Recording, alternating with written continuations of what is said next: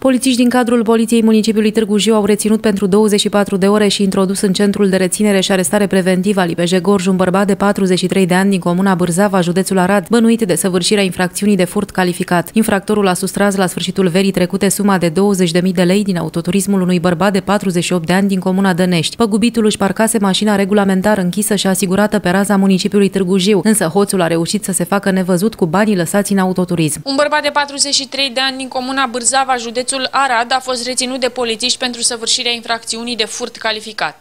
Acesta ar fi sustras în cursul lunii august al anului 2018 suma de 20.000 de lei dintr-un autoturism parcat, asigurat și încuiat uh, pe raza municipiului Târgu Jiu. Împăcarea părților a intervenit în acest caz, iar ca atare bărbatul este cercetat în stare de libertate. Bărbatul fusese reținut cu doar o zi înainte, însă oamenii legii l-au eliberat după împăcarea părților.